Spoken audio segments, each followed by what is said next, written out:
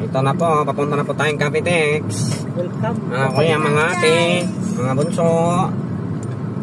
Tingnan naman natin yung Capitex gano'ng kabilis.